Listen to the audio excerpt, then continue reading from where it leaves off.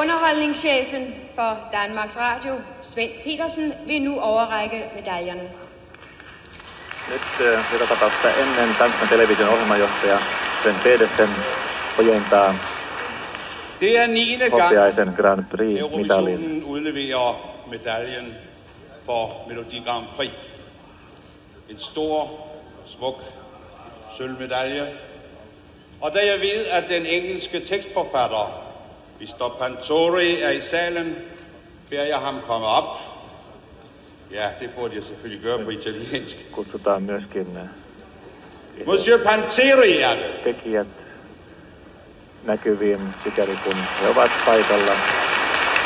Valokuvaajia on äh, monta kymmentä lavan alareunassa. Ja nyt näkyy juoksevan ainakin tämän kappaleen säveltäjä. erano quasi allacciate perché no, quindi di giorno.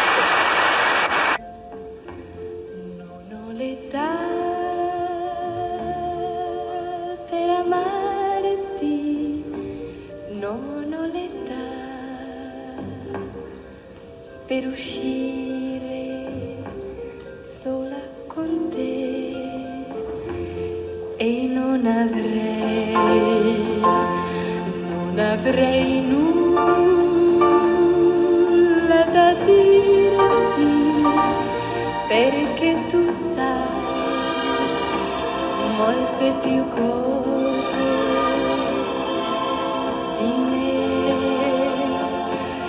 Lascia che io viva